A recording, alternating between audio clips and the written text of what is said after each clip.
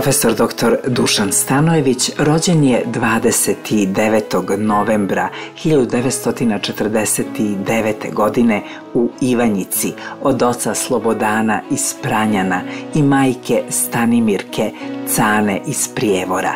Ima mlađeg brata Boška koji je ekonomista. Osnovnu školu završio u selu Prilike i u Gornjem Milanovcu, a gimnaziju u Gornjem Milanovcu i Beogradu. Diplomirao je 1974. godine na Medicinskom fakultetu u Beogradu. Magistrirao iz oblasti akušerstva, a doktorirao iz oblasti ginekološke onkologije.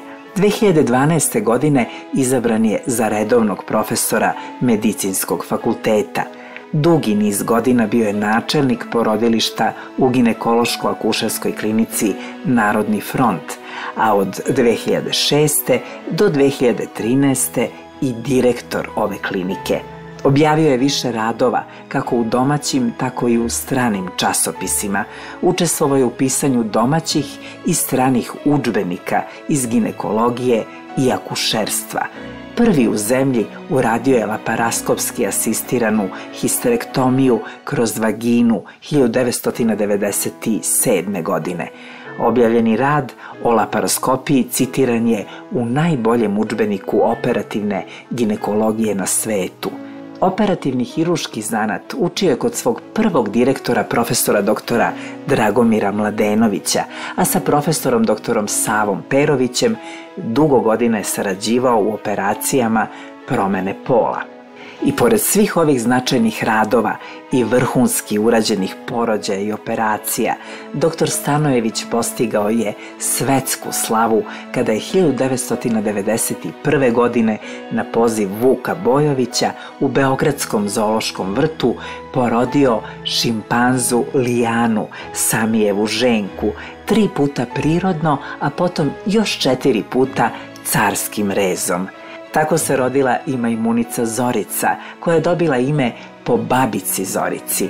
Bio je to centralni događaj ne samo u Beogradu, nego je i novinska agencija Reuters snimak porođaja prodala u 400 stranih televizijskih centara. Danas profesor dr. Dušan Stanojević ginekološke operacije obavlja u privatnoj bolnici Medical Center.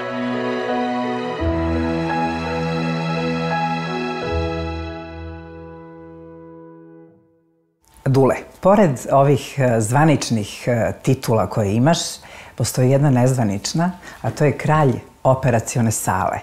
E, jel ja grešim? Ja sam negde naišla na to. Pa, ovaj, ne, mislim da ne grešim. ovaj, što kaže moj prijatelj Vuk Bojović, ne treba biti skroman, da je skromnost osobina hulja.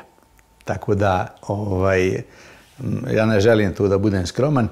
Ja sem nekih medicinskih, odnosno od ginekološke sekcije, od Srpskog lekarskog društva, tu sam dobio neka, neke diplome i tako dalje. Nikad ni jedno priznanje nisam dobio od društva, od šire društvene zajednice.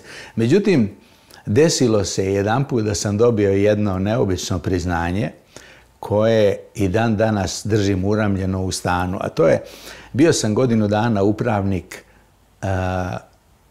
ginekologije u Dragiši Mišović. I onda smo svi slučajno dobili neki, neki instrumentarijum.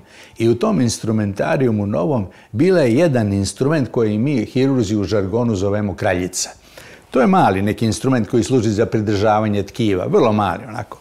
I kad sam se ponovo vratio na kliniku Narodni front, osoblje gore u, u sali u Dragiši Mišević, poslalo mi je tu kraljicu na jednu ovako dvosloj, dvolisnom kartonu.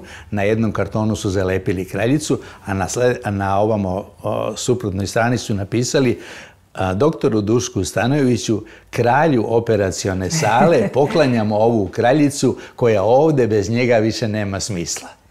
I ta, to je za mene najlepše priznanje.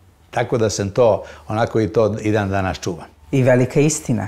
E, ti si kao kralj zapravo gospodar situacije, je li tako? E se tako osjećaš? Pa dobro, to je, sve se uči, tako da sam i ja to naučio. Naravno, čovjek treba da ima neki afinitet i neki talenat za to, tako da ja sam izgleda, imao dosta talenta. Imao sam na prvom mestu talenat, na drugom mestu sam imao dobre učitelje. I ti učitelji su onako mene brusili, nisu mi dali da a poslije sam sam, znate, kad, nauči da, kad čovjek nauči da pliva, onda malo, malo ga ovi uče da plive i onda poslije kad propliva ide sam. Ali kad si uh, uh, najbolji, da li imaš osjećaj uh, velike moći, sve moći? Pa ne, ne, ne, ne osjećam, to ne osjećam. To ne osjećam. Ali da sam dosta radio, radio sam dosta. Ja sam možda uz profesora Mladenovića koji je bio moj učitelj, čovjek koji je od osnivanja medicinskog fakulteta uradio najveći broj operacija u, što se tiče hirurgije u jednoj grani medicine od svih hiruških grana ovaj, u medicini. Mi smo znali i on i ja smo znali da operišemo i po deset žena dnevno. Dakle, Ti si otprilike porodio negde oko 40.000 do danas, je Nešto malo manje, ali otprilike je to. Otprilike je taj broj. Kažeš, imao si po 10 Imao sam, recimo, negde između 20 i 30 hiljada operacija. To je u operacijonoj sali samo. I plus jedno 30 hiljada žena sam porodio, tako da je to e, impozantan broj.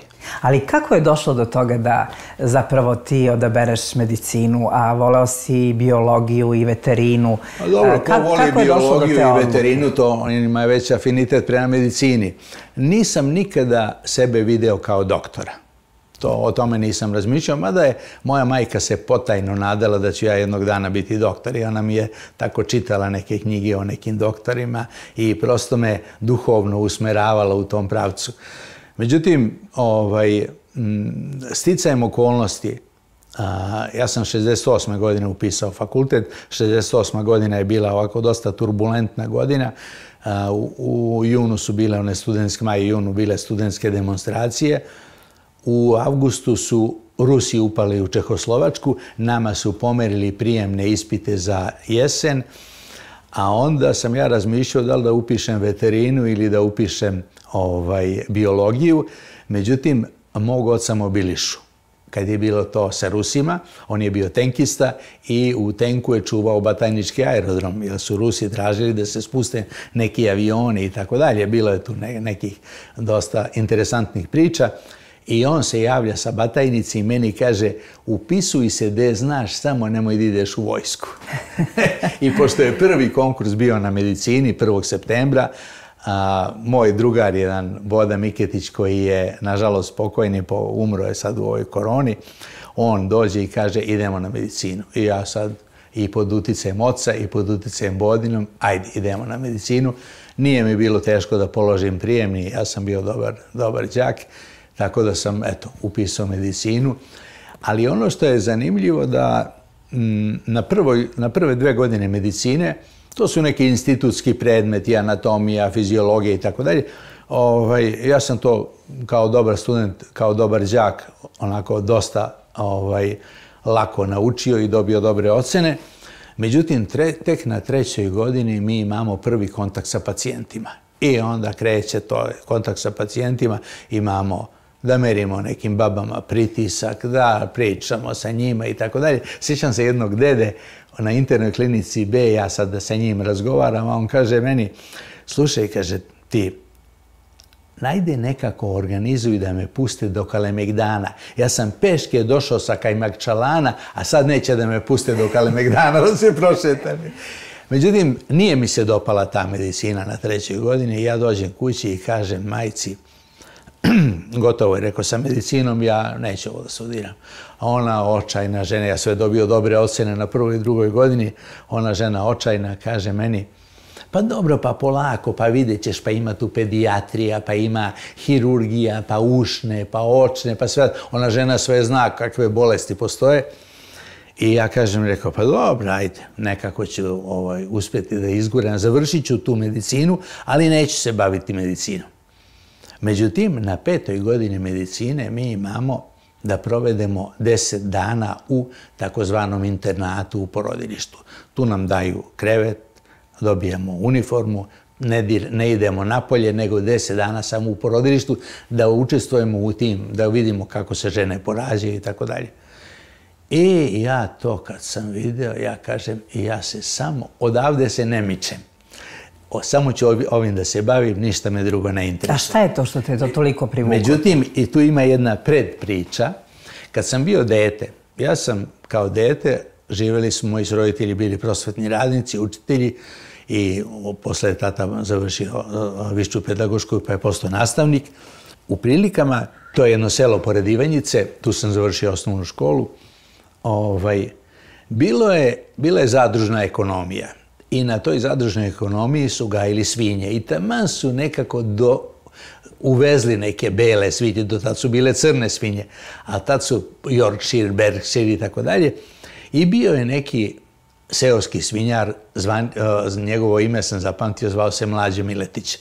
Ja sam noći provodio u tom porodilištu, da ne kažem u prastilištu za svinje, sedeo na oboru i posmatrao kako se krmače prase. I kad oprasi više nego što ima sisa, ja onda najljepše proglasim, krmač obično ima 12 sisa, ovaj, ja najljepše proglasim za 13. i kažem, čika mlađe, ova oprasila 13, kaže, nosi ga kući. I ja prase pod mišku i odnesem ga kući i tako sam ja te neke prasiće gajio na cuclu i tako. Ne imalo jedno prase koje je dolazilo sa mnom do škole, a imao sam jednog lepog vučjaka koji ga uhvati i vrati ga kući i to, to prase je ostalo mu tragovi od zuba od vučjaka na, na, na telu.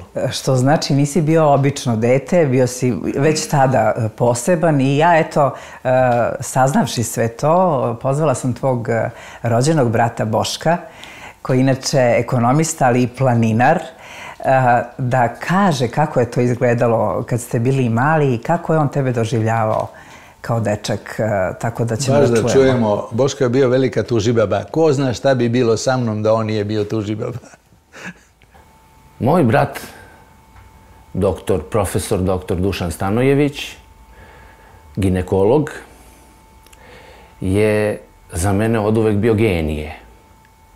Do 27. godine života bio je samouki genije i ja ga se sećam iz tog perioda.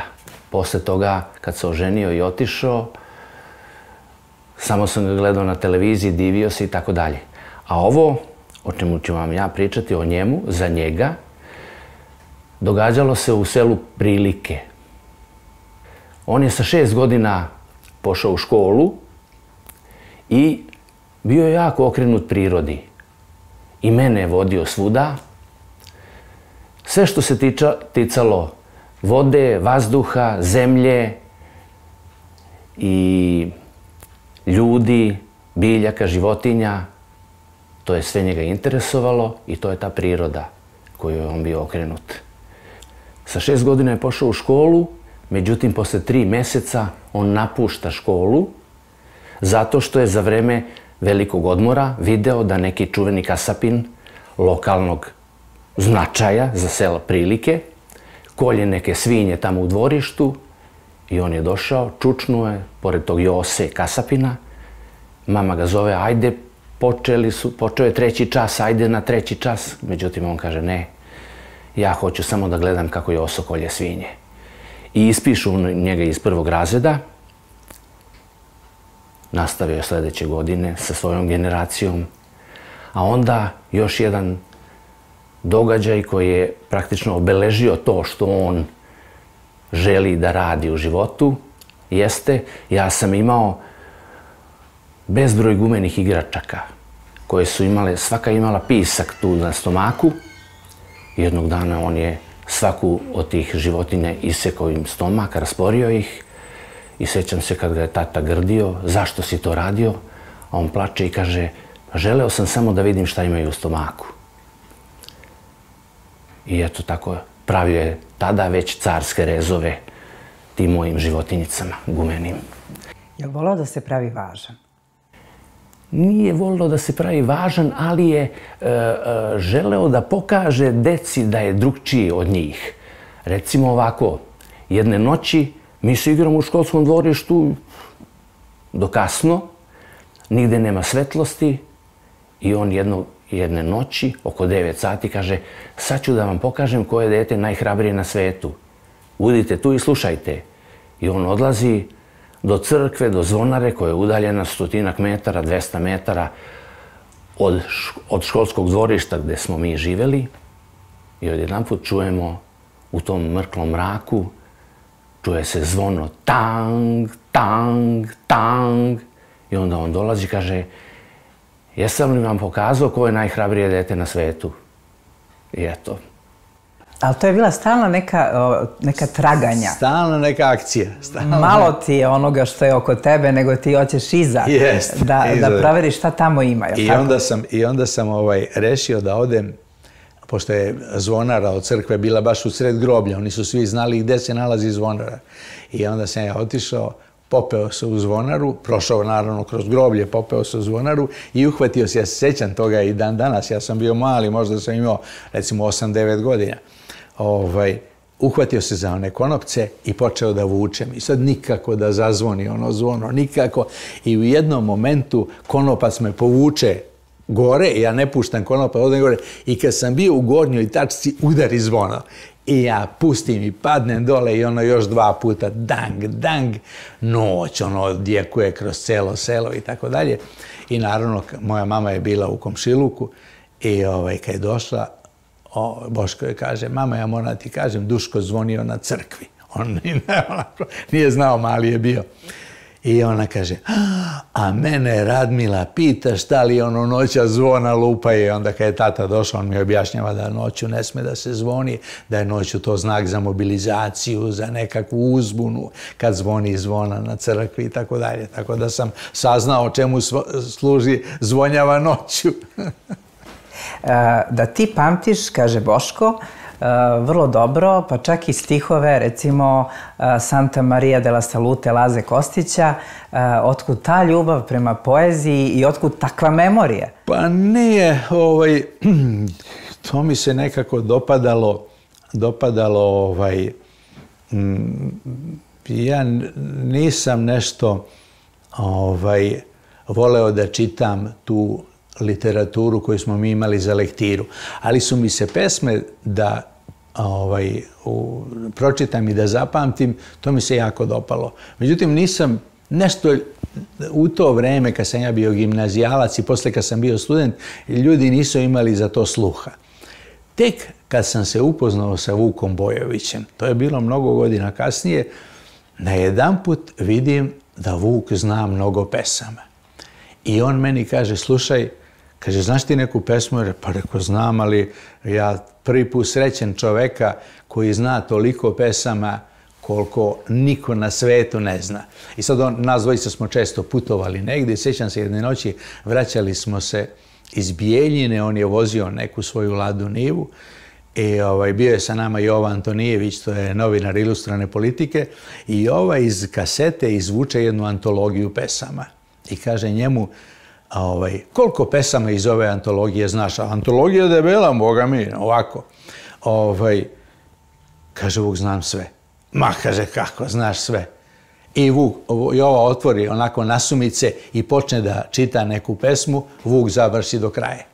Onda drugu, nasumice i ja se oduševim i tada sam počeo onako intenzivnije sa Vukom da, da, ovaj, da i da recitujemo i da učimo pesme. I onda su tu dolazili neki ljudi koji su bili pesnici. Kad kažeš tu, to misliš na Zološki, na Zološki vrt. Da. Miljenko Žuborski, pa neki Milko Grbović. Ali recimo Miljenko Žuborski je a, Miljenko Žuborski je napisao jednu pesmu kad je majmun sami bežao iz vrta. I meni je to onako ovaj, ostalo u pamćenju i kaže Majmun obrasta od lakom na slobodu beše lakom. Iz lepoga gradskog vrta pobeže po cenu smrta. Sad se majmun iz kaveza po glavnome gradu zeza. Kaže, krokodilske suze lije u prisustvu policije.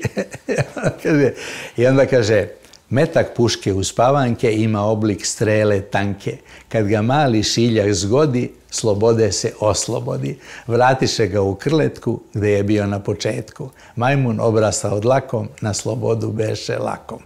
E, to je mnogo ovako interesantnije, to ljudi ne znaju nego sad Santa Maria de la Salute. A, i dobro, imamo podatak da ti uh, znaš celu pesmu na pamet, koja ni malo ovaj- nije uh, kratka, da. veoma duga. Dugačka pesma i nije za, nije, ne priliči za ovo, ali recimo taj Miljenko Žuborski je bio ovako uh, zanimljiv, meni je bio zanimljiv pesnik, on je, kaže, ovaj, od kengura do meduza svako biće zna da cvili, ali najkrupnije suze proizvode krokodili.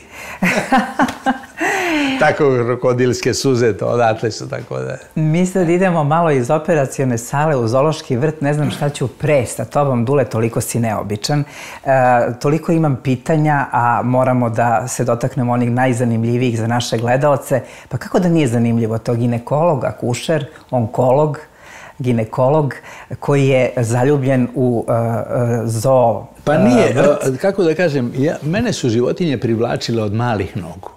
Ja sam kao dete imao svoj zoološki vrt i imao sam skoro sve životinje iz kraja Ivanjičkog, se medveda i vuka. Čak sam imao malu lisicu. Pa gde pa si ih držao? Pa po razno raznim kutijama, po sanducima i tako dalje. Imao sam ježa, pa sam imao krticu. Svoju krticu u nekom sanduku sam je držao. Svaki dan sam išao da je kopam gliste i tako dalje. Tako da sam uh, uh, sa životinjama proveo ceo svoj vek. I onda kad se to desilo, a to se slučajno desilo, ja sam radio u klinici i onda je baš sadašnja Vukova žena, Vesna, me zvala, kaže, porađa se šimpanza gore. I ja sam ono, otišao kao katapultiran da, da porađam šimpanzu. Naravno... To beše Lijana? Lijana, da. Čuvena Lijana. jeste. Ta, tako da sam tu Lijanu porodio jedno 5-6 puta. Radio sam nekoliko puta carski rez. Prvi put sam je porodio spontano samo. Šta si ti saznao o tim majmunima? Pa, ovaj, to je kod mene otvorilo jedno novo poglavlje u životu. Ovaj, upoznao sam baš u Zološkom vrtu. Zološki vrt je bila jedno stecište za skupljanje raznoraznih ljudi, vrlo interesantnih. I u Zološkom vrtu sam upoznao jednog arheologa Mileta Stojića koji je bio profesor arheologije i on je u penziji kao i ja. Onda smo nas dvojica počeli da se družimo i onda mi je on zadao jedan novi zadatak, a to je da pišem o akušerstvu u Neolitu pošto je on se razume u neolit, on je napravio jedno nalazište, odnosno pronašao jedno nalazište nekakvih figurina starih 7000 godina u dolini Velike Morave između Paraćina i Ćuprije i tako dalje. A te figurine su, sve imaju oblik trudnice. I e, onda je to meni postalo onako velika znatiženja. Do tada sam znao nešto o, o tome i kada si me pozvala danas na razgovor i ja sam se pripremio da upravo nešto o tome kažem. Naime, ja sam tu poneo neke svoje rekvizite. Na prvom mestu, na prvom mestu sam doneo jednu karlicu. Dobro. To je ženska karlica. Ne znam da li si se ikada zapitala kako arheolozi na osnovu kostura zaključe da kostur pripada je muški kostur ili ženski kostur. Nisam se zapitala, sad se pitam. Eto, na osnovu karlice. Ovo je jedna ženska karlica. I ono što gledalci treba da znaju to je da najveći mozak od svih živih bića, od svih životinja u odnosu na veličinu lobanje ima čovek. Da bi se taj mozak rodio, u evoluciji je bilo potrebno da ovo, a to se zove karlica, promeni, evoluira i promeni svoj oblik i da se promeni mehanizam porođaja. I upravo o tome ja želim danas nešto da kažem. A dakle, inspiracija je bilo moje pitanje vezano za majmune. Tako je. Ova ženska karlica se sastoji iz ovih gore lopatica koje mi zovemo velika karlica, ali nas zanima samo ovaj donji deo što se zove mala karlica. Ta mala karlica je koštani deo porođajnog puta. Dakle, kroz ovaj put prođe beba za vreme porođaja. I ova karlica ima ulaz, to je ovaj deo ovde okrugli, i ima izlaz kroz koji beba izlazi, to je ovo ovde. Ovaj ulaz ovde, vidite da je ovo odavde dovde duže nego odavde dovde. To se zove diametar transverza I sad da bi to pokazao, vidite, odavde do ovde je tačno za ovaj flomaster, a odavde do ovde ostaje ovaj deo flomastera. Dakle, gledalci znaju da je ovo odavde do ovde kraće nego odavde do ovde. A glava treba da prođe. A glava treba da prođe. Kod muškarca je ovo odavde kraće nego ovo odavde do ovde. Zato žene imaju malo širu karlicu, a muškarci imaju malo užu karlicu. I zato je ovo ženska karlica. I zato arheolozi raspoznaju na kostima da li, je to, da li pripada i kosti muškarcu ili ženi. Kod čovekolikih majmuna ovo odavde je duže nego ovo odavde do ovde. Dakle, diametar rekta je duži nego diametar transverze i kod mužjaka i kod ženke. I šta to govori? E sada, sad to ne govori za sada ništa, dok ja ne ispričam priču. A to je sljedeće. Doneo sam još jedno učilo, a to je beba, ovo što kako mi studentima pokazuju. Beba ima glavu, ima takozvane krupne i sitne delove. Krupan deo je glava, leđa i guza ili zadak. Ruke su prekrštene napred na grudima, a noge su prekrštene ovdje na stomaku. Brada glave je čvrsto nalegla na grudnu kost. I ovako spakovana beba se rađa. Dakle, kod čovekolikih majmuna isto je ovako spakovana beba i ona se nalazi, pošto su oni četvoronožne životinje, oni hodaju ovako četvoronožne, trbuk dole visi i beba je okrenuta tako da su leđa okrenuta napred, a glava je dole nalegla na karlići ulaz. Dakle, glava je kod čovekolikih majmuna ovako, ovako stoji.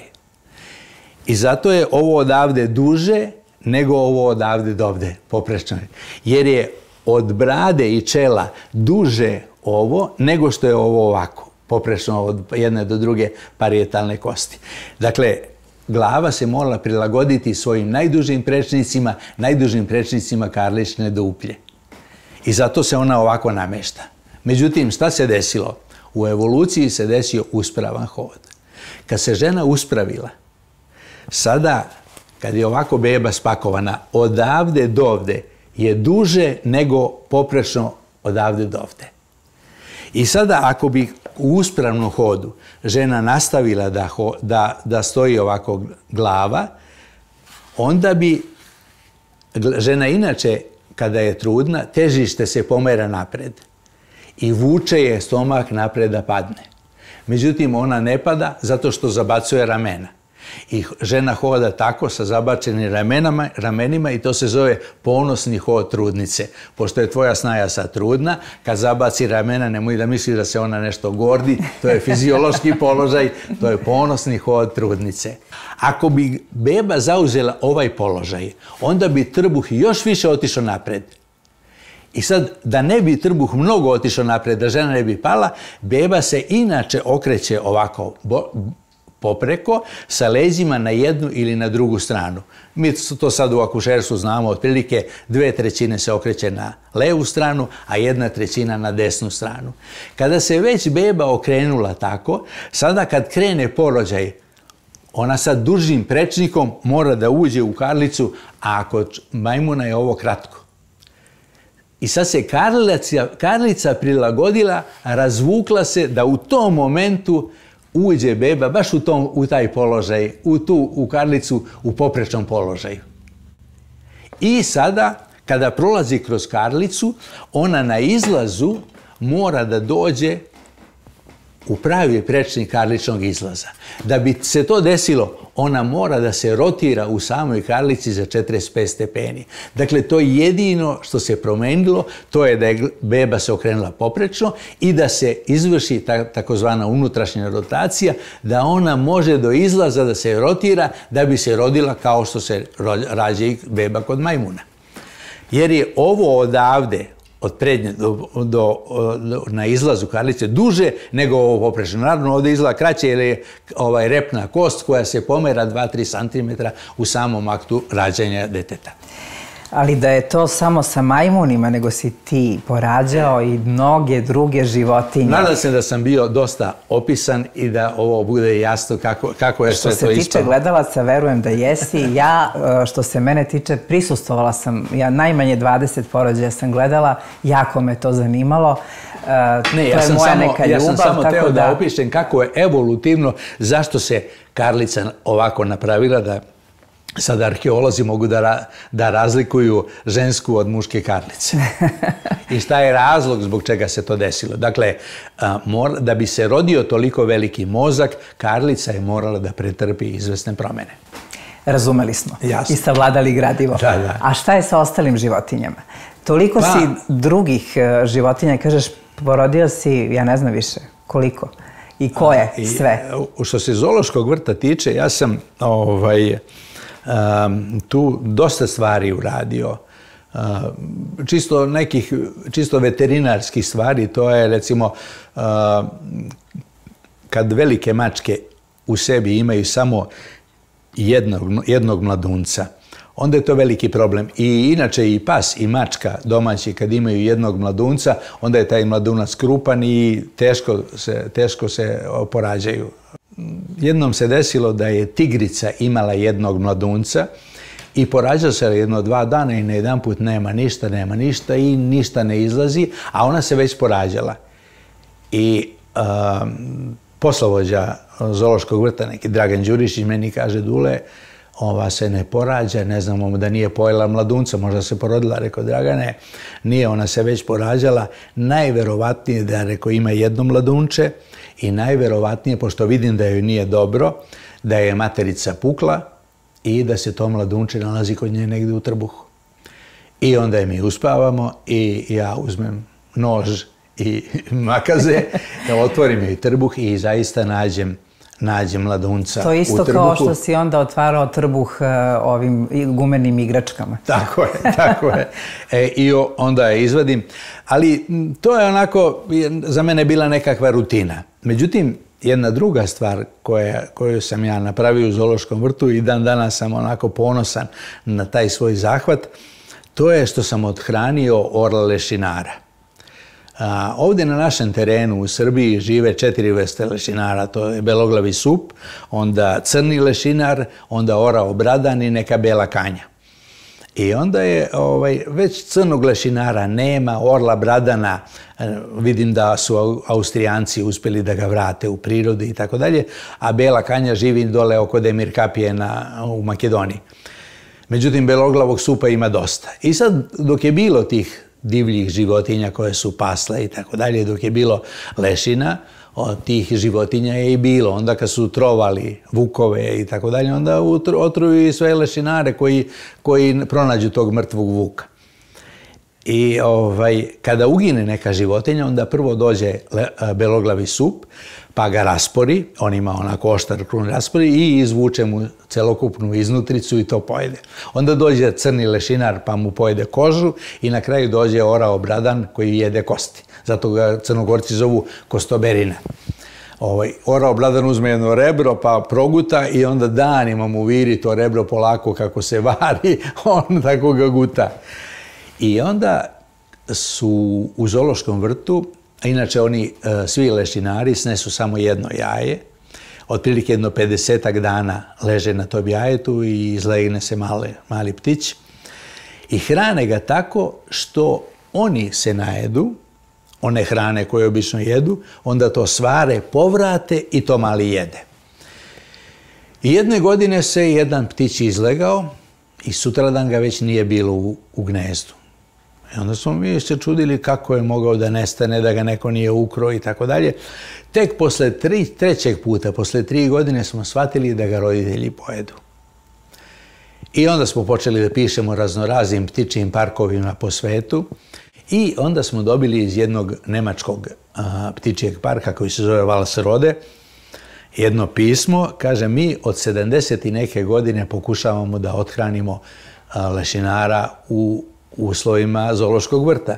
I tek smo prošle godine uspjeli da othranimo, a do tada smo 18 ptića izgubili. I za svih 18 nam napišu obdukcioni nalaz kako su ga hranili i u kom danu je umro. Ja kažem Vuče, trenutno u Beogradu umire 50 ljudi dnevno. Bar za 25 se ne zna od čega su, od čega su umrli.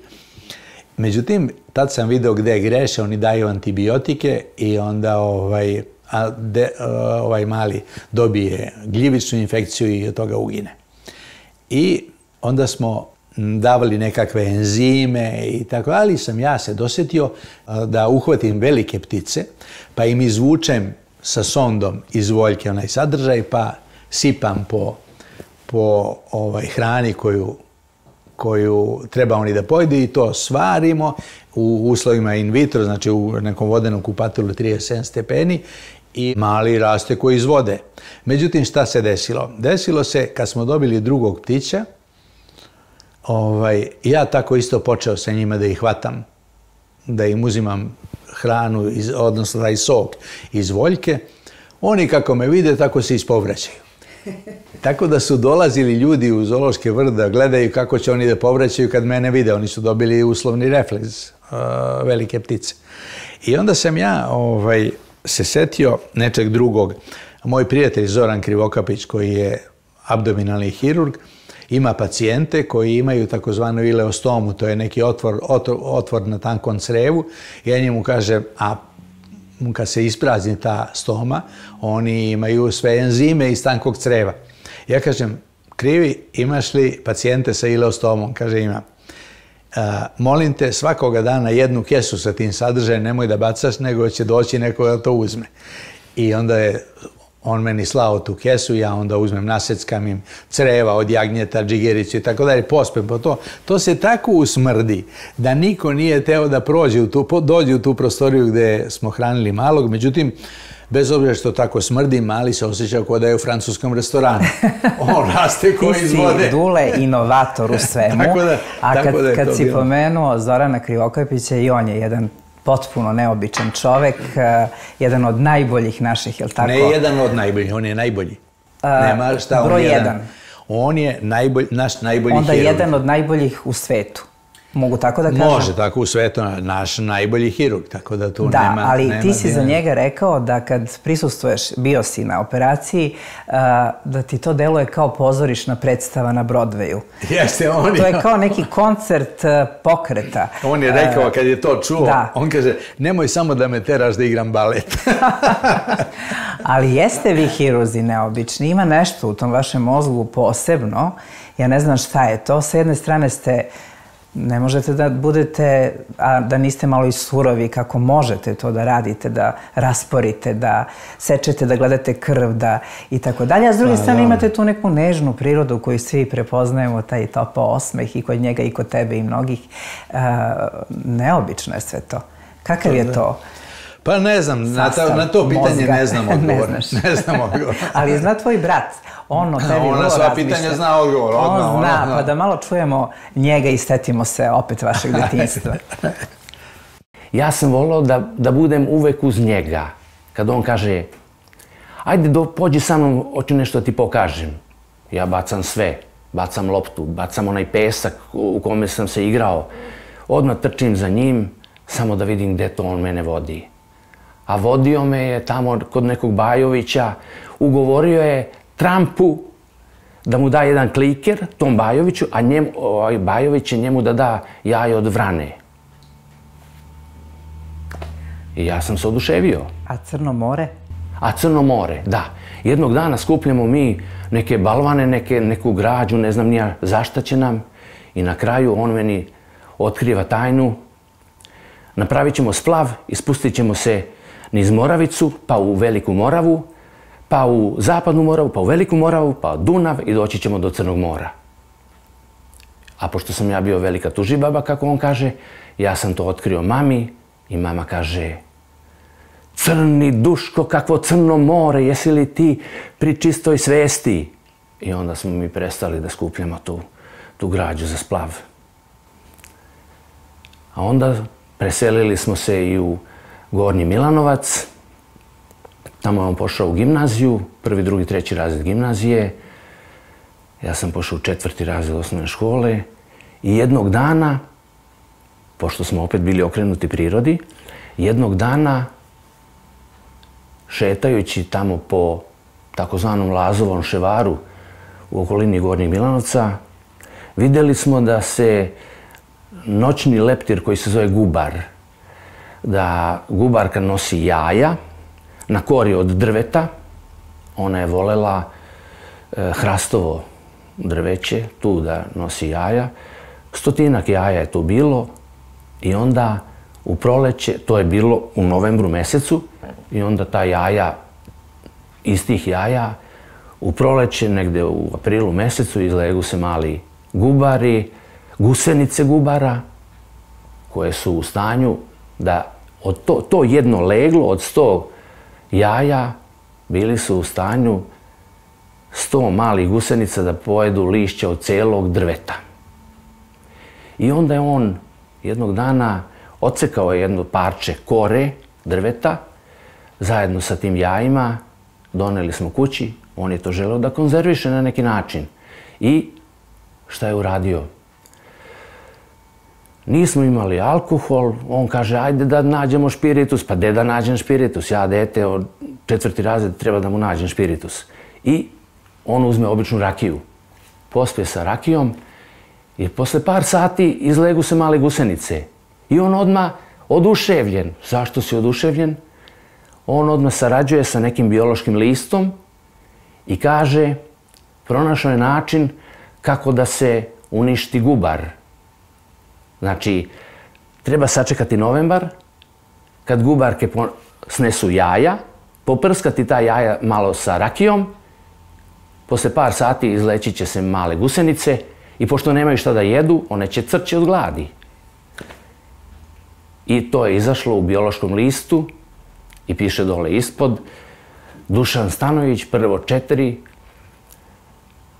gimnazija Gornji Milanovac.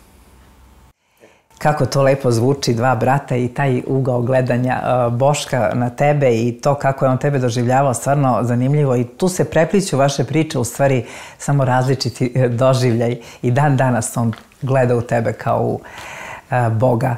Ti si za njega zaista izumitelj evo ovo o čemu mi sada pričamo, a ovo gdje se mi sada nalazimo, to je mitropolitov konak Topčiderske crkve.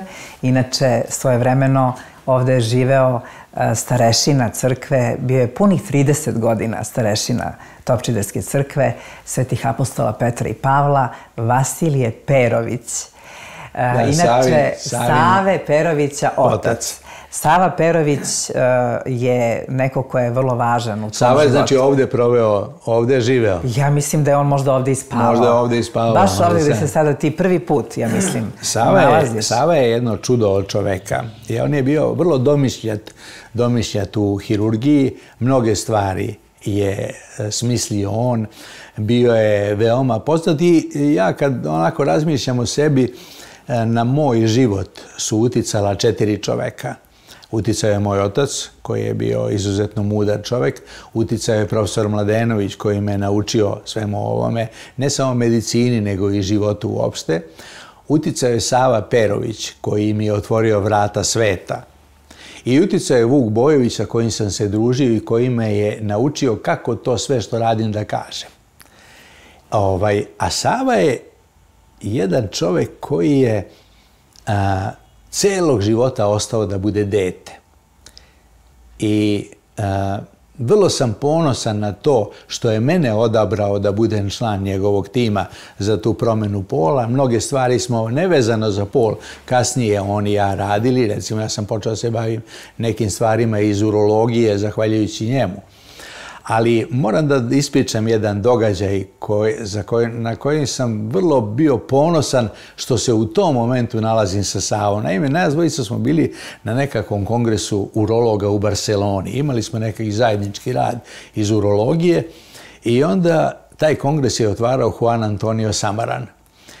I nas dvojica e, kao za inat zaboravimo fotoaparat u hotelu i nismo imali, vidim svi su se slikali sa Samaranom, jedino nas dvojica nismo. Ali nema veze, Samaran je bio prijatelj sa nekim predsjednikom urologa Španije koji se zvao Soli Barcelz. Taj Soli Barcelz je bio jedna vrlo interesantna ličnost. Istovremeno se bavio urologijom i bio je prvak teatra u Madridu. Tako da je za vreme otvaranja prikazane njegove neke uloge, slike iz uloga ovaj, u Madridu i tako dalje. I jedno, jedno večer bili smo na nekoj, na nekoj seansi gdje je on predsjedavao. I baš se pričalo o tim nekim operacijama koje radi Sava Perović, o tome su svi mogući pričali i nemogući i u jednom momentu taj Soli Barcels kaže molim vas, ovdje sa nama se nalazi čovjek koji o tome najbolje u svetu zna i najbolje je on je smislio te neke operacije. On se zove Sava Perović i ja ga molim da izađe, da prodiskute sve ove radove. E, ja, kad je on promenuo Savu Perovića, ja sedim do Save. Ja sam bio ponosan što u tom momentu sedim do Save. Tako da je Sava jedna svetska ličnost. Svi su... E, tačno da je on rekao sve ono što ja mogu da zamislim da može da se uradi u operacijnoj sali, to doktor Stanojević može da napravi Dobro, on to je verovatno rekao, ovaj, ja moram da budem malo skroman, bez obzira što na onu rečenicu da je skromnost osobina hulja. Ovaj, Sava je i jedan izuzetan, izuzetan... Da li je tačno da je ovo rekao? Pa to su mi neki, nekoliko njih su mi rekli i Savo je mene mnogo voleo. Ovaj, i sviđalo mu se da ja, ja sam onako, za sve što on smisli, ja sam imao hiruško rešenje. Pa ti uvek imaš rešenje i kad nema rešenja ti ga pronalaziš. A kad si postao direktor e, klinike, Narodni front, e, ti si rekao da taj direktor mora sve da zna i da bude na usluzi. ne samo da mora, to sam od Mladenovića naučio. Kad sam, kad sam ovaj, bio na specijalizaciji, Mladenović mi je često govorio, znate kolega, on je svima persirao, znate kolega, a kad je otišao u penziju zvao me Gosindule. Ovaj, Znate kolega, vi sada možete da nešto znate i da ne znate dok ste na specijalizaciji, ali kad položite specijalistički ispit morate sve da znate.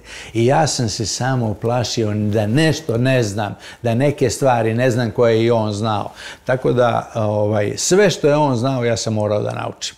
A da li je Narodni front e, institucija najvažnija u Srbiji po tebi? Pa, znate kako, ja što kaže Oscar Wilde je govorio ko živi u sadašnjosti i, ovaj, i misli samo da je sadašnjost važna, ne zna, ne zna ništa o vremenu u kome živi. Dakle, mi moramo da se podsjetimo i nekih historijskih momenata i moramo da mislimo na budućnost. Dakle, ja dosta znam iz istorije. Na klinici u Višegradskoj posle rata je bio direktor Siniša Tasovac. Siniša Tasovac je umro 1960. godine. Bio je toliko apsolutista, ali je sve znao. Ovaj, on je godinu dana posle njegove smrti niko nije smeo da sedne na njegovu stolicu. On je prvi rekao da pored klinike mora da postoji još jedna klinika. I 1955. godine je formirana klinika Narodni front. On je kao jedan čovjek visoko odgovoran, socijalno odgovoran, godinu dana dolazio u Narodni front da pravi vizitu posle svog redovnog posla i posle godinu dana rekao je sad vi možete sami da radite. Dakle, 55. godine je formiran Narodni front. Lično mislim da klinici Narodni front, da klinikama u Beogradu fale još jedno, dve, tri ginekološke klinike. Mnogo je posla i u Narodnog fronta i u Višegradskoj. A nisi mi odgovorio na pitanje koliko je to stub zapravo Pa jeste, ima, ima dosta porođaja, ima najviše porođaja, ali ja ne mogu da kažem da je to najvažnije. Najvažnija je klinika u Višegradskoj. A dobro, eto i to smo sad prvi put čuli iz tvojih usta, iako to nije tvoja klinika. A ti si boravio i u Dragiše Mišević, kao što smo rekli, i imaš iskustvo od godinu dana i tada je bio najveći broj uspešnih porođaja. Tako je, tada je bio najveći i tada se desilo nešto što sam ja stalno govorio. Ja sam bio veliki protivnik carskih rezova i za tih godinu dana porodilište u Višegradsku, u, Dragiši Mišević je imalo 3111 porođaja i negde 8 i nešto posto carskih rezova. Za to vreme i klinika u Višegradskoj i klinika Narodni front su imali preko 20% carskih rezova. Naravno, Ja sam to na jednom stručnom sastanku rekao i shvatio sam da to nikog ne interesuje. Da to apsolutno nikog ne interesuje. Jer ovaj, carski rez je mm, mm, pa za mene bilo neko nužno zlo. Da je, za mene ovo prirodni porođaj je prirodni porođaj. Mi smo se sad umešali u evoluciji, ko zna šta će biti sa ženskom karlicom kad mi budemo svakoj ženi radili carski rez. Ovaj, carski rez je nekada rađen, nekada rađen u interesu majke. A, zamenik direktora Mladenović je bio neki profesor Radeta Prica. On je položio specijalistički ispit pod rednim brojem četiri. I kad su mu prvi put dali da radi carski rez, on je obišao celu kliniku i rekao, znate šta, ja sam uradio carski rez i žena je ostala živa. Dakle, žene su umirale na carskom rezu do pre 70, 80, 100 godina. Do pre 150 godina i više od 150 godina nije se ni radio carski rez jer je svaki carski rez završavan smrću žene. Jel to znači da je zapravo materica, organ uh, možda još komplikovaniji od samog srca s obzirom ne, da... Ne, ne, ne. Pa se onda Carski rez je vrlo prosta operacija. Rasečeš trbuh, rasečeš matericu, izvadiš dete i ušiješ to što A si krvarenje? I nema veze ni krvarenje. Sve je to, sve je to prosto. Nije to. Ali problem što ranije, pre 100, 200, 300 godina, ljudi nisu mogli da reše infekciju i žene su umirale od, od infekcije. Tek kada je rešena infekcija, tek kada je rešena anestezija i tek kada je rešena reanimacija, onda se carski rez carski rez ovaj, dobio pravo građanstva. Nekada je carski rez rađen u interesu majke. Samo kad žena ne može se porodi, onda rade carski rez. Pa je počeo da se radi u interesu ploda. Kad vide da će dete da umre, onda rade carski rez. A u posljednje vreme se radi carski rez u interesu akušera. E, e, to je liberalni kapitalizam je doneo tu novu metodu. Kad akušer hoće da ide na godišnji odmor, da mu neki ne bi drugi uradio carski rez, da on ostane bez nekih prinadležnosti, onda on i 15-20 dana ranije uradi carski rez, što je nedopustivo. E, da, to je zanimljivo što si sad rekao, ali e, setila sam se profesora Mladenovića koji je živeo do 90 i neke godine. Mladenović je živeo 98 godina. 98 godina. Jest. Kako pod tolikim stresom, e, s obzirom da je i operisao i e, toliko boravio na klinici i imao zaista vrlo komplikovanih situacija, Šta misliš? Takva mu je bila genetika, ali je, ali je ovaj, što kaže, moja baba takvu mu je bilo kalemče. Ovaj, zanimljivu priču i jednu ovaj, dotakla, a to je ovaj, kad sam ja bio na specijalizaciji smrtnost od profesionalna smrtnost je bila veoma visoka kod akušera. Na prvom mjestu su bili novinari, a na drugom mjestu su bili akušeri. I zaista, ja se sjećam jedno 12-13 ljudi dok sam bio na specijalizaciji koji su umrli na poslu ne dočekavši penziju. Sada 40 godina, ovaj, 40 godina kasnije, a, novinari su i dalje pri vrhu, hirurzi su isto pri vrhu, a akušere je spasao visok procenat carskog reza više ne moraju da se sekiraju da li će da prođe kroz ovu karlicu, da li neće da prođe i tako dalje. Tako da je to... A da li babica mnogo pomaže? Ja sam imala jednom, uh, uh, rekla sam ti to, gošću Milku... Uh, Milku Čujić. Čujić, nažalost pokojnu, koja je bila poznata babica u Narodnog fronta, koja je čak povremeno i malo čušne neku od ovaj, porodilja kada uh, se glasno čuje, ali je bila omiljena uh, i poznata. I sećam se da je govorila da je njihov posao izuzetno važan i da često mnogo pomognu uh, hiruzima, pa, akušerima zapravo. Babice su, dobra babica je praktično 90 posla u akušerstvu. Tu je lekar samo da nadgleda da li babica dobro radi. Bilo je dobrih babica u, u, u Milka Čujić, pa Deska Stanojević, pa neka babica Radović i tako dalje. Ovaj, oni, one su stvarno bile izuzetne. Stvarno su bile izuzetne, istrpljive i kad te babica pozove i kaže da nešto nije u redu, to otvori četvore oči. To stvarno nešto nije u redu. Ovako, mlađi kolege ili neki drugi, lekari su obično skloni da kažu ma ajde, to će biti sve u redu, nema nikakvog problema. Međutim, babica koja je iskusna, kad te ona pozove, onda pamet u glavu. To je, to je stvarno onako za, za, za brigu. Kako se ti e, braniš od e, stresa i e, šta je tvoj ventil? Gde se ti opuštaš? Pa ja imam više ventila. ovaj, prvo, najznačajnija stvar je da se čovjek druži sa prijateljima. To mi je onako najveći ventil. I onda u društvu ja obično ne pričam ništa o medicini, o to što sam doživeo na poslu, nego pričamo o nekim lepim stvarima i tako dalje. Jedan od mojih prijatelja vrlih je bio i ovaj Zoran Simjanović Simke. jedan put sam ja u društvu rekao da kad sam bio dete, da sam mislio da se može naučiti nemušti jezik da se može razgovarati sa životinjama.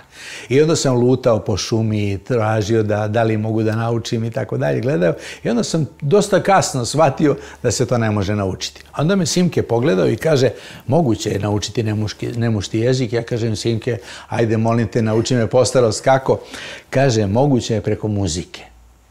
I onda posle par dana me zvao i kaže sljedeći put kad budeš došao u vrt, doneću ti nekoliko CD-ova i zaista on mi je nasnimio nekoliko CD-ova e, među kojima se nalazila i e, ovaj, jedna kompozicija čuvenog Franca Lista, Sveti Franja Asiški propoveda pticama.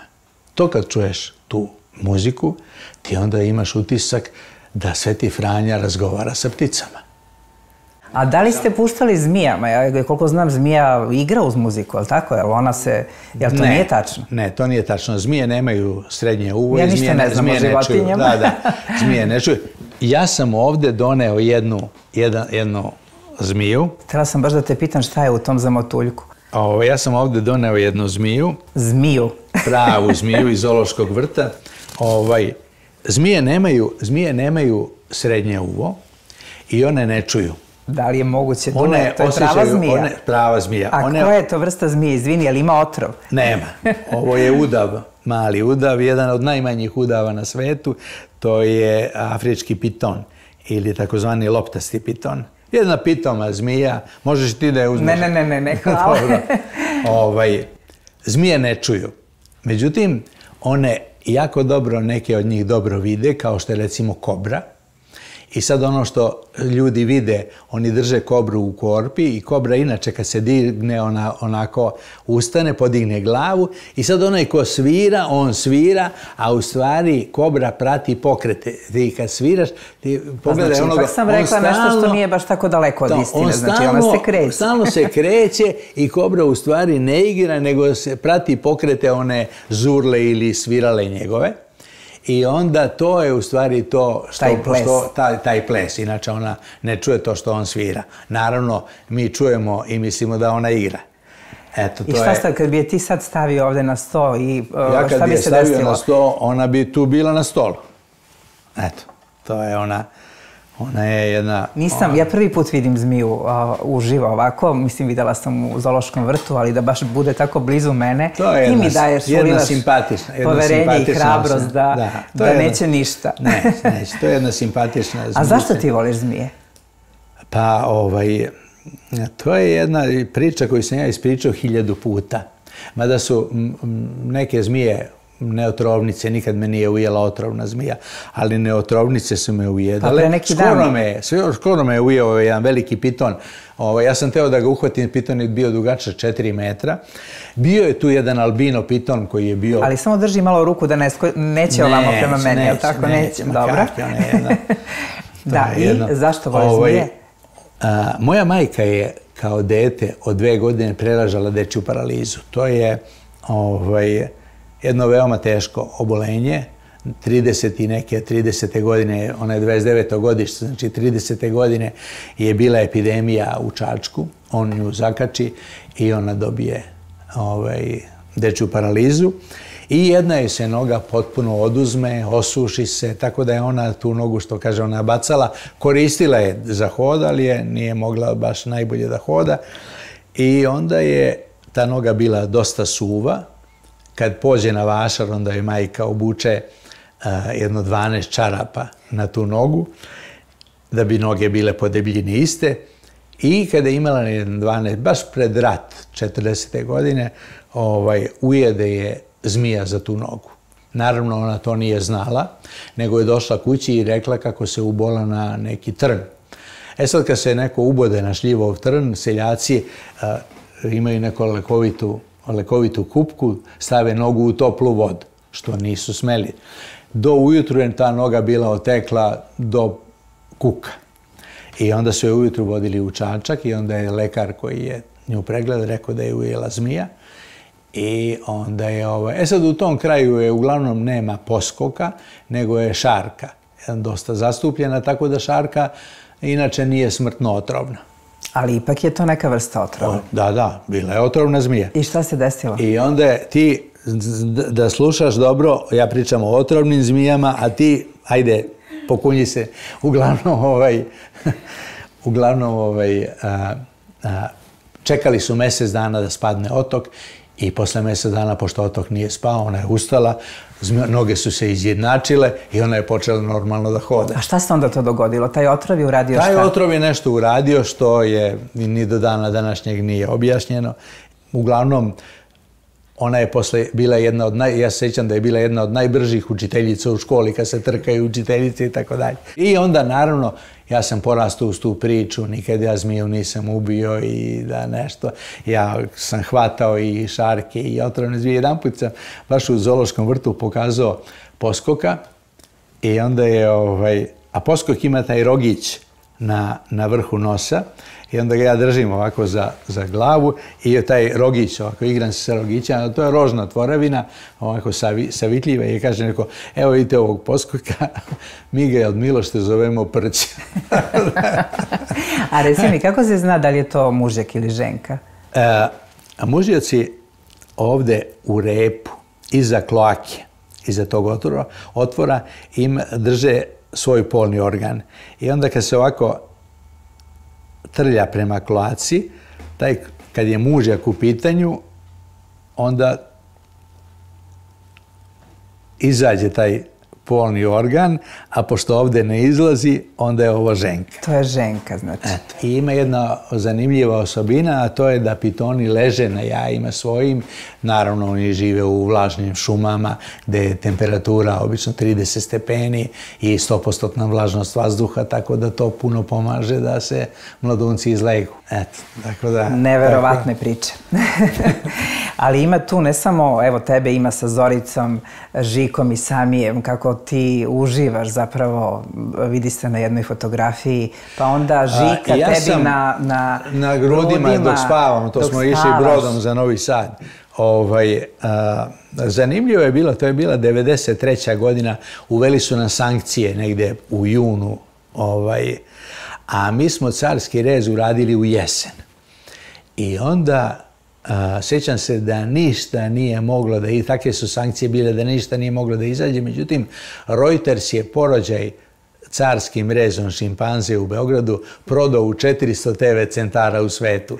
Tako da su mi se javljali ljudi iz Švedske, iz Australije, iz celog sveta da mi kažu da su me videli na porođaju šimpanze. To A, je... jel, ja tamo videh i Dejana Filimonovića, tvoj kolegu, i jest, on je bio, jest, tako, jest, u tom timu. Jeste, Dejan. Ja sam odmah pozvao ceo tim, ovaj, i babice, i anestezijologa, i sve smo ovaj, angažovali da dođu da, da se porađa šimpanze. I sad gledamo ovde Gepard, operacija noge i to imamo prilike da vidimo. Dvogrba Kamila, snimanje vilice. E to mi je bilo onako ne, jako to je, zanimljivo. Ovaj, ja, im, ja, ja se ne razumem u sve. Recimo, moj prijatelj, pokojni uh, Mićević života, on je očni lekar i jedan od lavova dobije kataraktu. I ja sam ga zvao da izvadi sočivo lavu, tako da su oni operisali. Ja pozovem njih da dođu, ovaj, ja kontrolišem anesteziju, onda um, ovaj, Zoran Blagojević, uh, Hiru, koji je bio direktor bolnice na Banjici, ortoped, on je operisao Geparda, to što je Gepardu slomljena noga i tako dalje. Tako da sam zvao one specijaliste iz humane medicine koji su bili potrebni, jer, znate kako, ne može nijedan veterinar da operiše oko kod tigra. Je, ipak, ipak mora da dođe očni lekar. A za Kamilu je došla neka sprava ogromna. Da, bi to su rengen. To su rengen rengeni, doneli, da, jeste, da. jeste, E, jeste. to je isto impresivno. Mislim. Pa, ali recimo kada se porađa žirafa, onda dođe veterinar. To dolaze, sramote, ali sam zaboravio kako se zvao profesor koji je predavao akušerstvo na veterini. On je porađao, ja sam došao i bio onako opčinjen time da gledam.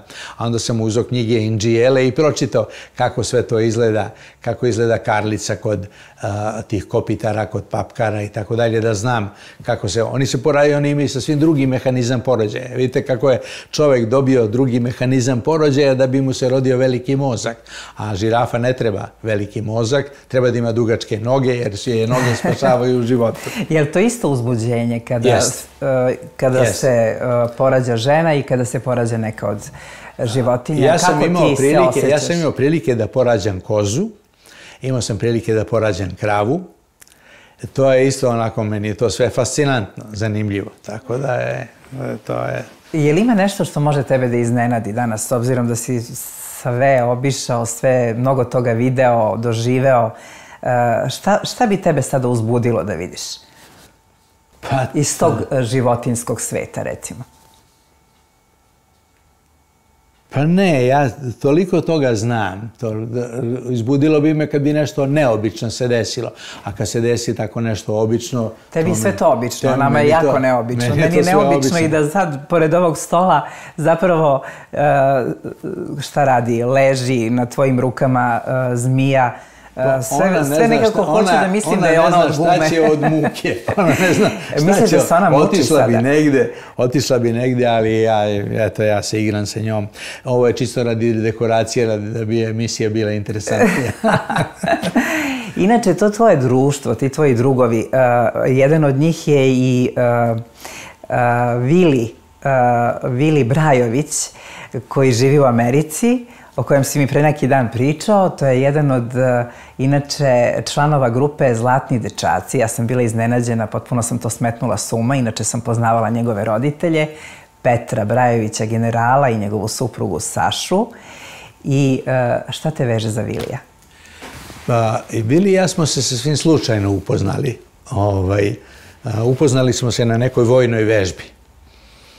Ovaj, mi smo bili takozvani združeni teritorijalni odred, rečni sektor Sava.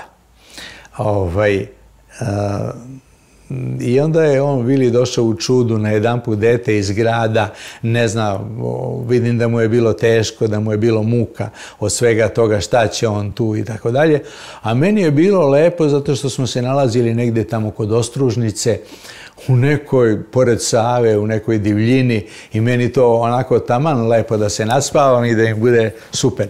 Čak nisam teo ni da kažem da sam ja lekar iako su oni mene pozvali da budem tu lekar. Tek posle jedno dan, dva ili tri dana, još jedan lekar je bio i kaže, pa meni su rekli da ima još jedan lekar. I onda sam ja ovaj, rekao, ti rekao, pokušaj da kažeš nešto iz medicine, pa pogreši namjerno, on će sigurno da te ispravi i onda ćeš da utvrdiš ko je.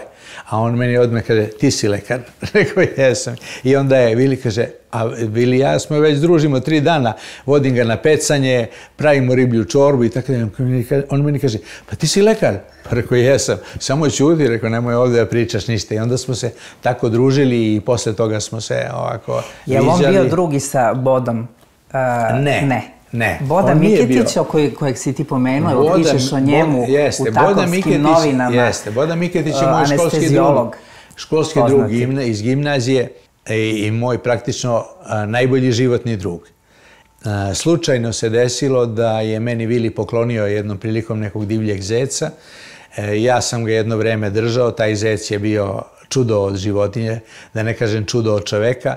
E, Zec je mislio da je on čovek, i uveče je gledao, sedne u fotelju, gledao je televiziju. Jedina mu je mana bila što je jeo nameštaj. I onda sam ja morao da ga pošaljem Bodi u Gornji Milanovac, Voda je inače iz Milanovca, i on je kod Bode i uginuo.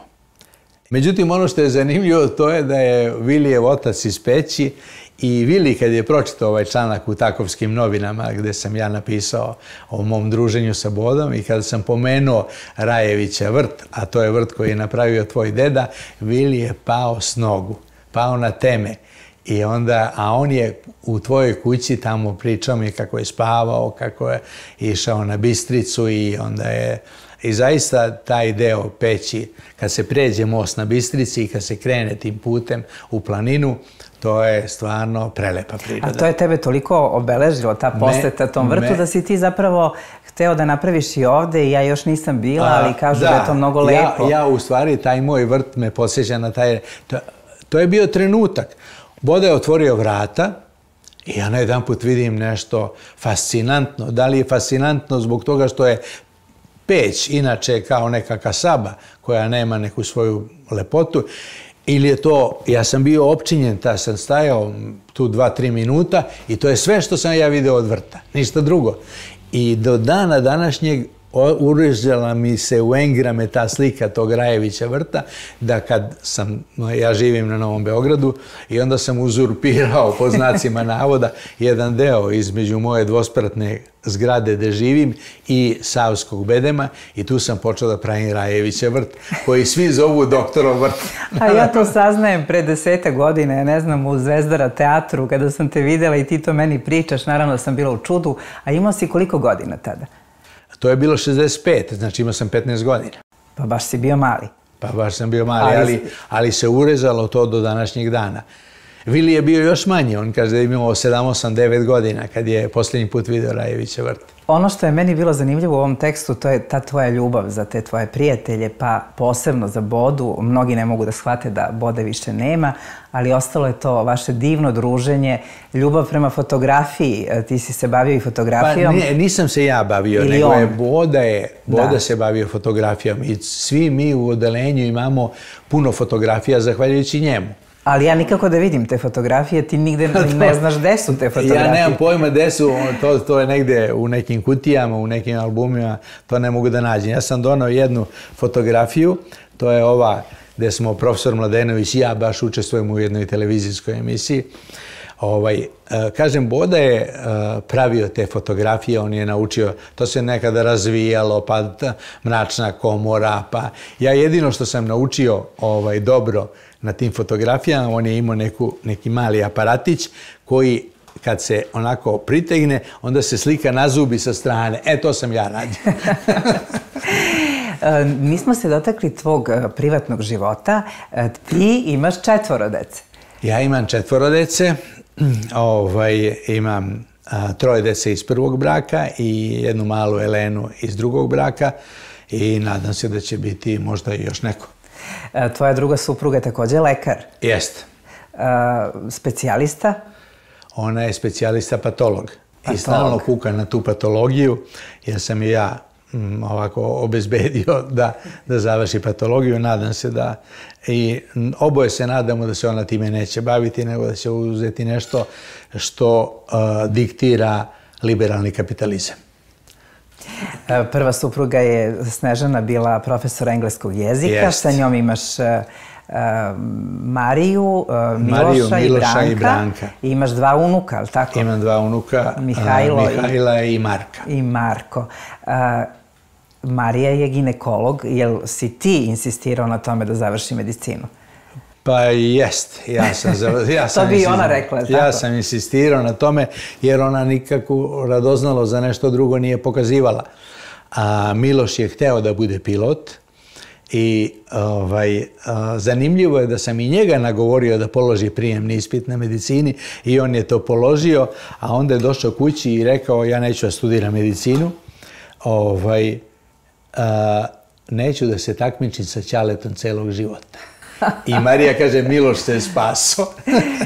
A, a Branko se baš spasio, on je otišao u Ameriku i tamo je postao slikar, je li tako? On se bavi nekim slikarstvom, ovaj, Tako da... Tako je to kad imaš jakog oca, hoćeš da odeš potpuno u nešto drugo. Da, moraš da ideš nešto drugo. A... Ali čerka je bila spremna za takmičenje sa ocem Jest. i vrlo je uspešan Da, e, da, da. ginekolog u Jest, ovoj jeste, istoj dobar je, klinici. dobar je, dobar da. gine- Jel, jeste nekad zajedno ovaj, Pa radili? radimo, sad ja radim dosta privatno i onda radimo privatno zajedno, a ovaj, e,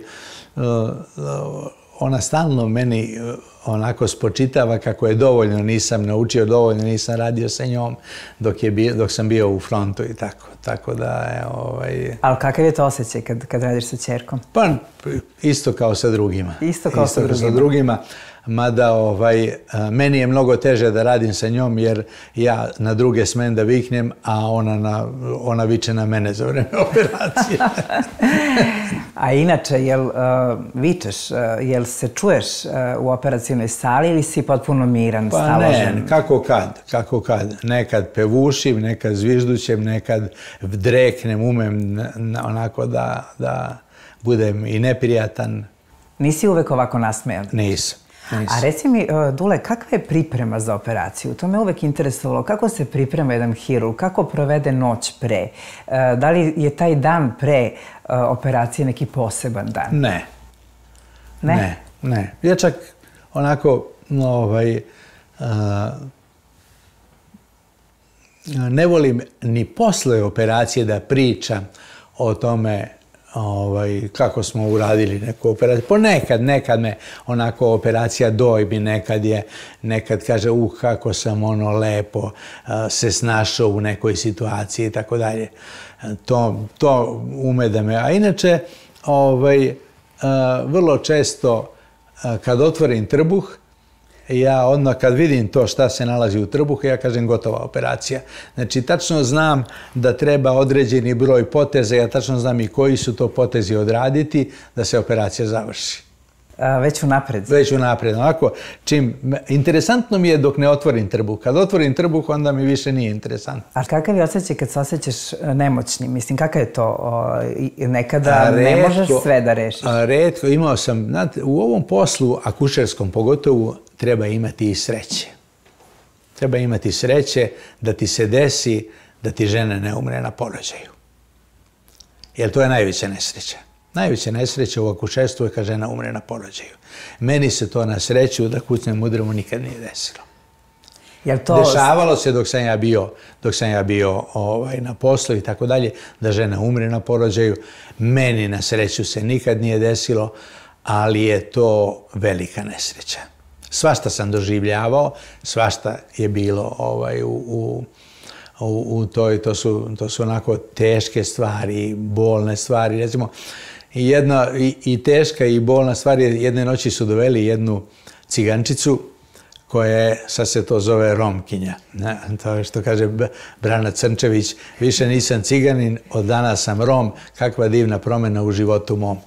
Ovaj, a, doveli su jednu cigančicu koja je bez pulsa, bez tenzije, ima van materičnu trudnoću i stavljamo je na operacioni sto i onda, ovaj, ja sam bio jako mlad tada, nema, niti možemo da uzmemo krv da vidimo koja je krvna grupa. Na jedan put sreća njena od te cigančice što je profesor Prica bio glavni dežurni i ulazi on u salu i kaže ja sam krvnogrupni altruista. A to znači da imam krvnu grupu nulta negativna koju može svi da prime, a ja mogu da primim samo nulta negativna. I onda on legne na neka nosila, sećam se, pored nje, na operacion, pored nje koja leži na operacionom stolu i sećam se anestezijolog ovaj, nađe njemu venu, nađe njoj venu i onda preko neke pumpice direktno iz njega upumpava krv u nju. Tako da dok nije dobio kod nje puls, on se nije smirio, uzeo je profesor u prici ne znam koliko, sigurno jedno pola litra, možda i više krvi.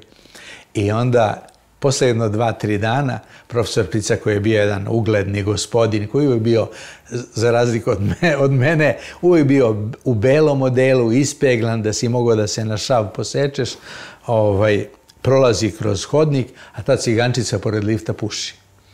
I on priđe njoj i kaže, izvinite gospođo da vas pitam nešto, da li znate ko sam ja? A ona ga onako pogleda i kaže, nemam pojma. Tako da je to onako bilo, bilo je još nekih e, jako ružnih stvari, ali to nije za televiziju nije za pričanje. A u operacijnoj sali da li postoji Božja ruka ili samo tvoja? Tvoji Samo prsti? moja. Samo tvoja? Samo moje. E se pomoliš možda pre operacije? Ne. Ne. Toliko veruješ samo u sebe? Bio sam, bio sam ovaj, u životu pa, u par puta u situaciji da se pomolim Bogu.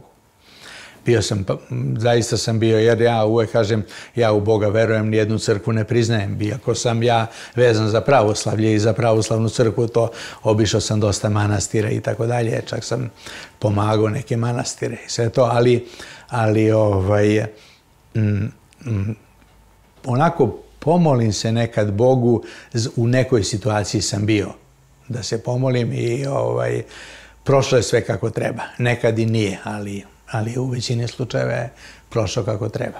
Moram da kažem, jednom prilikom sam boravio u Hilandaru. Odmah da kažem da sam prvi put u Hilandaru bio 1978. godine i moram da istaknem da je još Tito bio živ. Kada ljudi uopšte nisu ni znali šta je Hilandara, kamoli gde je. Ovaj, I tada sam od jednog kaluđera čuo da je jedina svrha našeg postojanja, ali pazite, od kaluđera, jedina svrha od naš, našeg postojanja je rađanje dece. Dakle, čovjek treba, jedan put sam sreo jednog Mirka na Durmitoru kad sam se spuštao ni staru ovaj, u selu Grubači. Taj Mirko ima 15 dece. I to mi se mnogo dopalo. I da treba, e, to si jednom negde rekao, izdržavati nekog, da je to isto Da. e, jedan od naših mo- zadataka. Ja moram da kažem, moram da istaknem ovaj, a, jednu moju prababu. To je a, ključni čovjek u maminoj familiji. Prababa se zvala Živka. Ona je imala, ostala je udovica sa 24 godine i imala je troje dece. Njen muž Jovan je poginuo u bitci na Bregalnici. I ona je mnogo volila svoga muža, kažem, ostale udovice u 24. godini i krenula je volovskim kolima iz Čačka do Niša, od Niša do Kumanova vozom i pošla je sa jednim seljakom da joj pokaže gde je njen muž zakopan. Onda ga je otkopala i u mrtvačkom sanduku ga dovela istim putem vozom do Niša, a od Niša do Čačka volovskim kolima i sahranila ga u ovaj takozvanom stanjevačkom groblju u Prijevoru, odakle, inače odatle, ona i nakon toga je usvojila još dve devojčice, Živku i Persidu, sa kojima smo mi bili kao rod rođeni. Ona je onako jedan veliki, veliki dobrotvor i dobročinitelj. Tako da je ona o, za mene uzor u životu, ta moja prababa Živka. A ti- Doneo sam slike njene. Njen sin Rade je ostao siroče u petoj godini, kad mu je otac poginuo. A u istoj toj bici poginuo je još jedan moj pradeda, neki Todor Marković. Nažalost, on je ostao na bojnom polju i u tom istom groblju su podigli spomenik njemu i napisali su za Todora Markovića, ali i čuveni stih na mom grobu u tuđini cveće nikad neće nići, javite mi mojim dragim da im nikad neću stići. Taj stih se može pročitati na svim, gotovo svim tim vojničkim grobljima. Ja sam ga pročitao na grobu Drinske divizije na Krfu, pored a, Agios Mateosa, kod Svetog Mateja, ovaj, taj isti stih. I naravno, taj Todor kad je poginuo, iza njega je ostala mala Margita koja je ostala siroče u trećoj godini. I kada su odrasli, prosto su bili upućeni jedno na drugo jer su im oba oca, očevi poginuli u istoj bici. Oni su se uzeli i rodili moju majku. Tako da, tako da sam ja ovaj, a, Tvoju majku koja je bila učiteljica. Koja je bila A učiteljica. ono što je zanimljivo da je tvoj otac od jednog e, deteta sa sela zapravo došao A, do jako visokih funkcija. Tako je. i, Moj otac e, je bio u jednoj vrlo, vrlo siromašnoj porodici. A, a, on je iz Pranjana. To selo je bilo poznato po tome što su tu napravili aerodrom da spašavaju američke pilote, a ovi sad hoće da im naprave rudnik da ih potruju sve.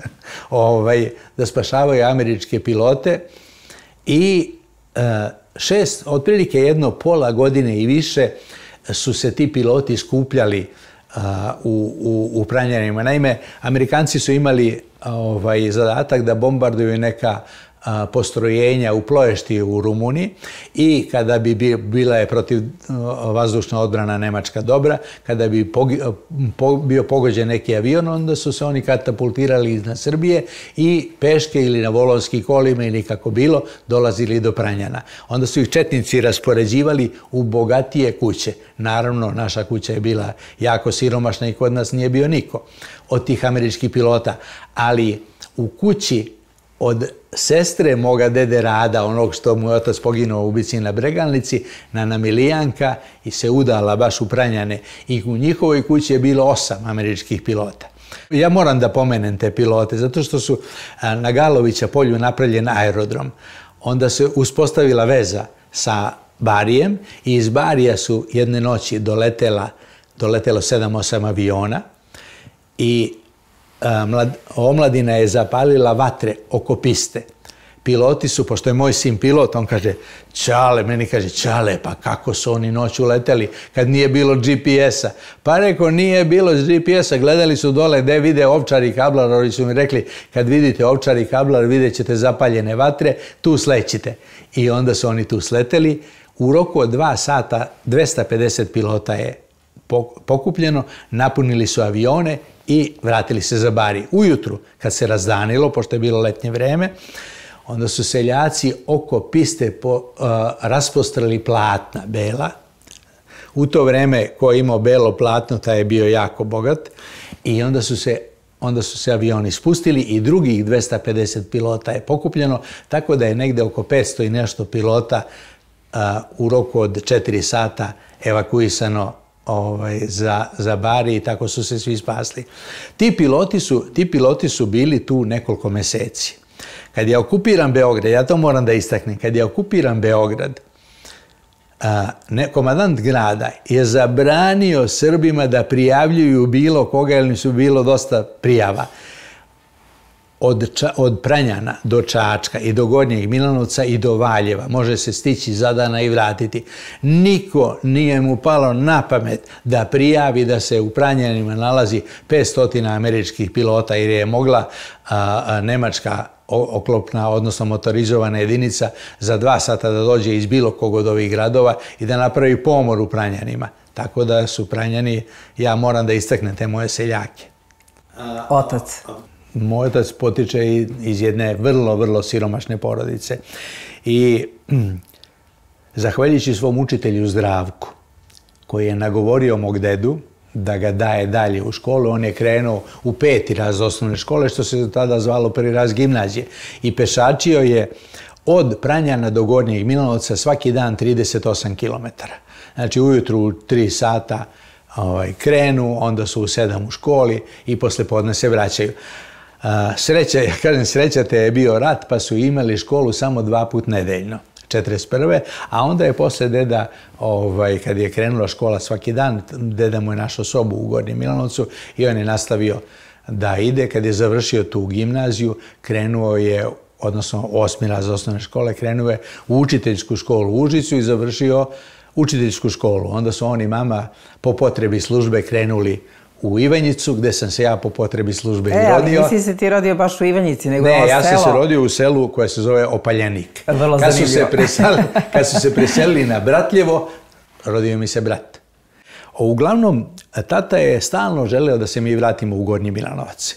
I onda je bio je direktor škole u Prilikama, pa se vratio u Gornji Milanovac, bio predsjednik opštine u Gornjem Milanovcu i onda je iz Gornjeg Milanovca završio ekonomski fakultet i sa ekonomskim fakultetom smo došli u Beograd, odnosno njegovim ekonomskim fakultetom došli u Beograd i on se zaposlio u Beobanku na mesto savjetnika i za vrlo kratko vrijeme postao je zamjenik direktora. Ali je i magistrirao i doktorirao. A onda je u međuvremenu magistrirao i doktorirao, postao profesor na ekonomskom fakultetu, pa je postao zamjenik guvernera Narodne banke Srbije i sa mesta zamjenika guvernera Narodne banke Srbije postane zamjenik guvernera Narodne banke Jugoslavije i imamo mi za uspomenu njegovu jednu novčanicu na kojoj se on potpisao, to je novčanica sa Titovim likom. tako, da je, tako da, je, da se tu tako krug zatvorio. Naravno, ovaj, penzionisao se vrlo rano. On je se penzionisao kada je napunio 40 godina radnog staža, odnosno 42 godine radnog staža i 60 godina života. Tako da je, ali ovo moram da vratim priču na mog dedu, na njegovog oca koji je imao 18 godina kada je počeo prvi svjetski rat i sa 18 godina počeo da prelazi Albaniju. I naravno smrzne se, odnosno promrzne, zarobe ga Albanci, odnosno Arnauti, kako on to kaže, i celo njegovu jedinicu ubiju, Arnauti, a njega predaju Austrijancima. Srećate su ga predali Austrijancima, a Austrijanci mu usput u transportu od Kumanova prema Somboru izuju cipele i u cipelama mu ostanu prsti. Kakve su to muke bile, to samo on zna.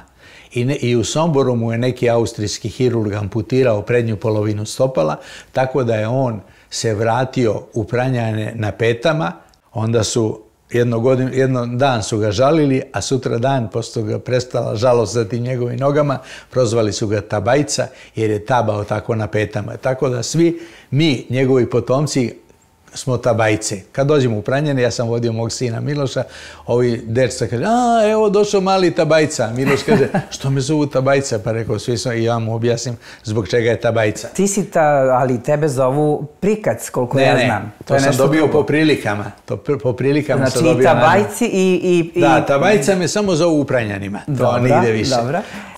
Prikac je, o, došao sam u Gornji Milanovac iz Prilika i onda su me prvo zvali Prilike, pa su skratili na Priki i baš taj Boda Miketić, on me prozove Prikac i pošto smo nas dvojice jedini iz Milanovca upisali medicinu, kad su ovi čuli da sam ja Prikac, onda ceo fakultet prihvati, tako da me sad svi iz generacije zovu Prikac. Ali da se vratim na dedu, vrlo je bitno. Ovaj, deda moj, se oženi, pošto tada nije bilo mnogo muških glava, oženi se sa ženom, koja je moja baba bila lepa žena, i napravi šestoro dece. Ja kažem, a onda se ja šalim na njegov račun, ja kažem, moj dede je bez prstiju na nogama napravio šestoro dece. Da je imao prste da može da se odupre, ko zna koliko bi nas bilo. Ovako samo šestoro. Moji su roditelji bili komunisti, branili su mu i meni i bratu da se javljamo svešteniku lokalnom popu Žarku. Kaže, kad ga vidite na ulici, samo ukrenite glavu i nemojte da se javljate. Međutim, on je video da pop Žarko peca dole i da je strastveni ribolovac i odlazi u kuću kod popa Žarka da ga pop Žarko nauči kako se vezuju udice. A onda celo selo je znalo kako se vezuju udice, svako dete je moralo da dođe kod Duška, da ga Duško nauči kako se vezuju udice. Škola, osnovna škola u prilikama bila je ogledna osnovna škola i imali smo čak i neke životinje, paunove, fazane, zečeve i onda su, onda smo mi zavoleli životinje. Tako da smo skupljali razne životinje i onda smo skupljali ptičija jaja. Imali smo možda i 30 vrsta ptičih jaja on je svako to jaje znao da izduva, da ga konzerviše na neki način i govorio je, to, jaje se izduvava sa šest prstiju. I onda duvate na vrh od jajeta da bi sve ono, belance i žumance izašlo dole na drugu stranu koje smo mi zvali šota. I tako smo mi to konzervisali. Lako je bilo naći jaja od tih nekih običnih ptica, ali mi smo imali jednu jedna jaja, neka jaja od ptica koje ne žive više nigde, ne žive kod nas, žive u Sibiru, to su takozvane zlatovrane.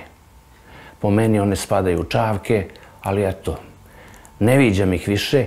Novine su pisale prošle godine da su negde u Batajnici videli neku zlatovranu. Zamislite kad novine pišu. Imali smo i ta jaja kao kuriozitet i to smo ostavili kod njegovog druga, školskog u Gornjem Milanovcu kad smo se selili za Beograd. Tako da smo, eto, bili smo okrenuti prirodi, mada on voleo da sluša i druge ljude. Preko Morave tamo u prilikama živeo je jedan čovek koji je bio od njega stariji 90 godina. Zvali su ga Deda Neša i Deda Neša je voleo Dušku da priča šta je sve bilo u Javorskom ratu 1876. godine. A Duško sa deset godina toliko je želeo sve to da sazna i on dan danas sve to zna. Da, taj Deda Neša je bio jako zanimljiv. Ovaj, on kaže, pošto je moj tata bio predstavnik vlasti, bio je direktor škole i sad vraćamo se jedan put sa Morave sa kupanja, a Deda Neša sreo mog oca i kaže, opasna je ova vlast danas. A moj tata kaže, što Deda Nešo? Kaže, pre rata uvate žandari komunistu prebiju ga ko mačku, on izađe iz zatvora i opet kaže živjela komunistička partija. Danas ovi koga prebiju, taj kad izađe iz zatvora ne viče ništa. tako, da, mi je taj deda Neša imao lepa zapažanja. I uopšte si volao sa starijima da razgovaraš sam, i dan sam danas sa starijima i dan danas volim sa ljudima od kojih mogu nešto da naučim. Ima li takvih ljudi danas? Ima, kako da ne. Koje, koje lično viđaš i sa Koje kojima lično, se sa družiš? kojima se- Pazite, e, ja se volim da se družim recimo sa mojim seljacima i od njih kupim mudrost. Oni su neverovatno mudri. Oni tačno znaju šta, šta valja, šta ne valja i tako dalje. U gradu je, mi smo onako, mi jurimo za neči, nekim stvarima ovaj, koje nekad su dobre, nekad nisu dobre i tako dalje. A na selu je to sasvim drugo. I stra, su strašno duhoviti. To je onako nekakav, nekakav iskonski humor. Ja moram da ispričam ovaj, jednu anegdotu o jednom seljaku koji je 20 godina bio u Kanadi. I sad vratio se iz Kanade i njima priča kako eto u Kanadi robna kuća na desetak spratova. I sad tamo u, tim gornjim selima imate ljude koji imaju 50-60 godina, nikad u Beogradu nisu bili. Bili su do Čačka, ima robna kuća na sprat i tu imaš da kupiš šta hoćeš i šta imaš sad robna kuća na 10 spratova. On vidi da nije ostavio nikakav utisak pa kaže sve delovi za kosačicu. E, onda je to neki, neki utisak vrlo bitan.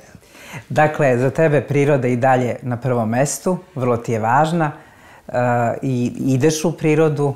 Pa idem u prirodu ovaj, i a, trudim se da oko zgrade u kojoj, u kojoj živim napravim neki ambijent kao da sam u nekoj netaknutoj prirodi. Naravno, to nije netaknuta priroda, ali je mnogo lep ambijent i živjeti u Beogradu na takvom mjestu je privilegija. E, mnogo toga nismo rekli, promjena pola, samo smo se dotakli te teme, to je jako ozbiljna tema. e, Pa to je, ovo je jedan kolaž, onako, jedan ovaj... Pa prošetati kroz svoj život nije lako, nije Da, da, da, lako nije lako. s obzirom na tu svestranost i tu veliku radoznalost. I kad si rekao bio je veliko dete za jednog od tvojih prijatelja, e, ja mislim da ste svi vi i hvala Bogu velika deca negde iako ste tako e, veliki stručnjaci. Je se slažeš sa mnom? Tako je, tako je. Ko, ko ne, nije dete, on, ovaj, on a, da tako kažem, što kaže Đorđe Balašević, on život odrobija. Ako je ovaj dete, ostane do kraja, on proživi život. Dule, hvala ti na ovom razgovoru, a za ove druge teme bit će vremena Bože zdravlja. Daj Bože.